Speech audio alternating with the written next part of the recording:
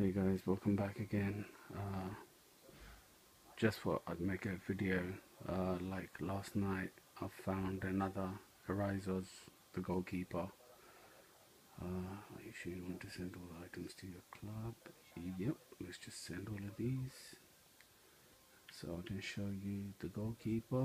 There we are. That's the goalkeeper. Uh, I found him last night I just started opening packs about an hour ago. And just over the course of an hour uh, spent over half a million more than 500,000 and got one inform. And it's the shittiest inform again. So I still don't get Ozil or Benzema or De Bruyne. Uh, don't understand why but let's hope I get something good today see you in the next video guys. Please comment down below subscribe and share